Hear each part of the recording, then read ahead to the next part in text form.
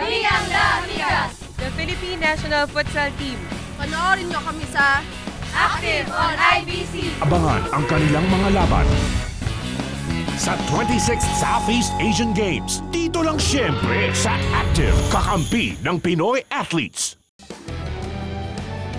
This sports event is brought to you by Smart. Let's make life extraordinary. Supporting today's Filipino athletes and tomorrow's champions.